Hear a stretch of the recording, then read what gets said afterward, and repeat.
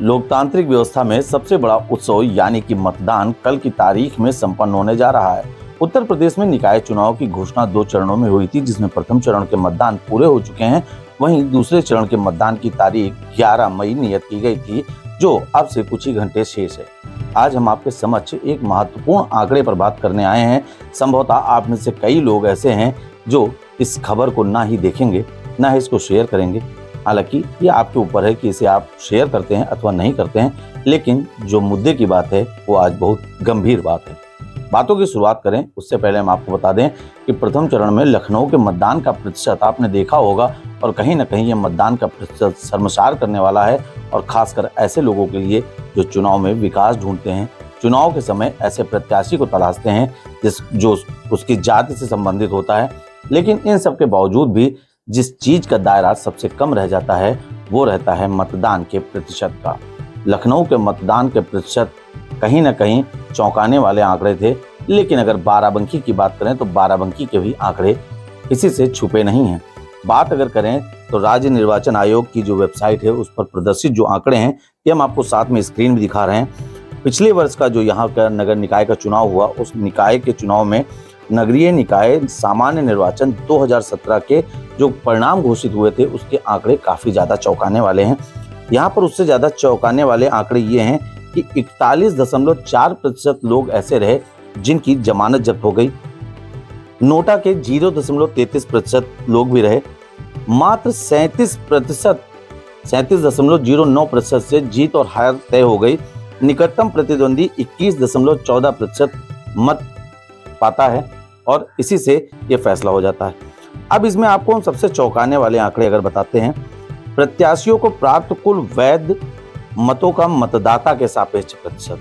ये आंकड़े काफ़ी ज़्यादा चौंकाने वाले हैं, जिसमें पंद्रह दशमलव एट, जिसमें पंद्रह दशमलव पचासी प्रतिशत विजेता घोषित हो जाता है। हरे रंग से जो ये आपके सामने डायग्राम बना हुआ है, ये आप देख सकते हैं। और इसमें जो सबसे गंभीर और सबसे शर्मसार होने वाली बात यह है कि सत्तावन दशमलव तीन प्रतिशत लोग ऐसे रहे जो मतदान से उपस्थित रहे, यानी कि अपने ज़िम्मेदारी से भागते नज़र आए। जो इसमें वोट डालने वाले थे, उन वोट डालने वालों की संख्या अगर बात करें तो बहुत ही कम रही। ये आपके सामने वो कुछ ऐसे आंकड़े थे जो आपको सोचने पर मजबूर कर देंगे कि आखिर इस चुनाव में जब हम बात करते हैं, जब हम प्रत्याशी की तलाश करते हैं, हम बात करते हैं, मुद्दे जो होते हैं, उसमें विकास की बात करते हैं। जब आप मतदान के दिवस पर घर पर बैठकर टीवी देखते हैं, मैच देखते हैं, मैच खेलने जाते हैं, या सोचते हैं कि आज का दिन तो बिल्कुल सुकून का दिन है, आज हम कुछ नहीं करेंगे। कहीं ना कहीं आप अपनी ज़िम्मेदारी से भाग रहे हैं और अपने आने वाली नस्लों के लिए आप एक खराब व्यवस्था उत्पन्न कर रहे हैं, क्योंकि अगर आपके घर में छोटा बच्चा है, जब भी वो भविष्य में बड़ा होगा तो वो भी कहेगा कि मेरे पिताजी या मेरी माता जी या मेरे भाई या मेरी बहन या मेरे दादा या मेरी दादी जब वोट डालने नहीं जाते थे तो मैं वोट डालने आखिर क्यों जाऊँगा?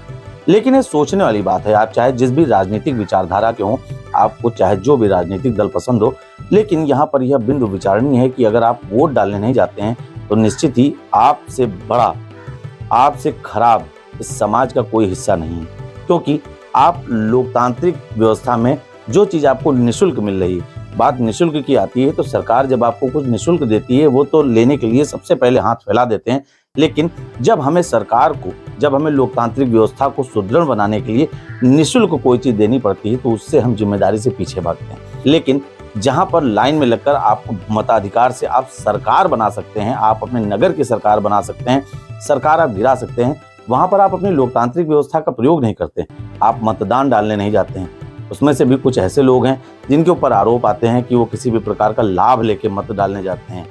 ये स्थिति भी उचित नहीं है, लेकिन कहीं ना कहीं वो मतदान का प्रतिशत तो बढ़ा ही रहे ऐसे में सोचने वाली बात है कि अगर लोभ के चक्कर में पड़कर लोग मतदान करने जाते हैं तो क्या समाज के उन जिम्मेदार व्यक्तियों की यह ज़िम्मेदारी नहीं बनती है कि वह आगे बढ़े, अपने साथ दस लोगों को और प्रेरित करें कि जाएँ वो मतदान करें?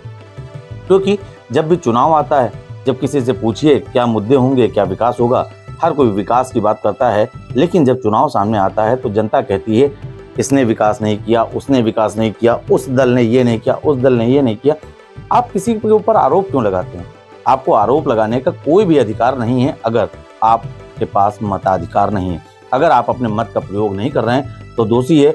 सरकार से भी हम यही कहना चाहते हैं कि कोई ऐसी व्यवस्था सुदृढ़ की जाए, कोई ऐसी व्यवस्था बनाई जाए, जो लोग अपने मत का प्रयोग नहीं करते हैं, उनको सरकारी सुविधाओं से पूर्णतया वंचित कर दिया जाए क्योंकि उनका यह तरीका कहीं ना कहीं गैर जिम्मेदाराना है और भारत की लोकतांत्रिक व्यवस्था को कहीं ना कहीं चोट पहुँचाने वाला है। अब हम चाहेंगे कि आप में से जो लोग भी देख रहे हैं इस वीडियो को हम आपसे यही निवेदन करेंगे कि आने वाली तिथि पे जाइए, मतदान कीजिए, अपने साथ अन्य लोगों को लेकर जाइए, प्रेरित कीजिए। सरकार भी लगातार लोगों को प्रेरित करती है, सेल्फी मांगती है, तमाम मीडिया चैनल भी इसके सेल्फी मांगते हैं। फेसबुक पे फ़ोटो अपलोड कीजिए, लोगों को प्रेरित कीजिए, टैग कीजिए। बस कोशिश ये कीजिए कि मतदान ज़्यादा से ज़्यादा कीजिए, क्योंकि जितना ज़्यादा प्रतिशत मतदान होता है, उतना स्वस्थ प्रत्याशी आपके सामने आता है और आप उससे अपने उन सभी कार्यों को करवा सकते हैं जिनके लिए आप मुद्दे पर जाकर बात करते हैं। तो हमारा आपसे फिर यही अनुरोध है कि आप कल ज़्यादा से ज़्यादा संख्या में मतदान करें और इस बार बाराबंकी का ये रिकॉर्ड ऐसा बनाएँ कि पूरे उत्तर प्रदेश में बाराबंकी जनपद की हनक कायम हो सके। धन्यवाद।